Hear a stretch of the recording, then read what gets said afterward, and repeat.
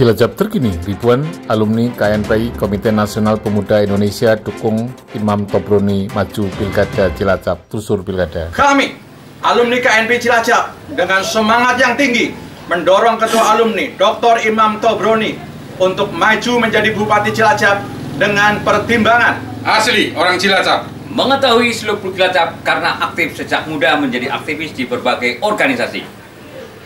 Dr. Kiai Haji Imam Tabroni jujur, amanah, tanpa korupsi, merdeka.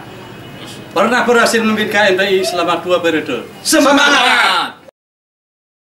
Kami, alumni KNP Cilacap, dengan semangat yang tinggi, mendorong Ketua Alumni Dr. Imam Tobroni untuk maju menjadi Bupati Cilacap dengan pertimbangan Asli orang Cilacap. Mengetahui seluk beluk Cilacap karena aktif sejak muda menjadi aktivis di berbagai organisasi. Dr.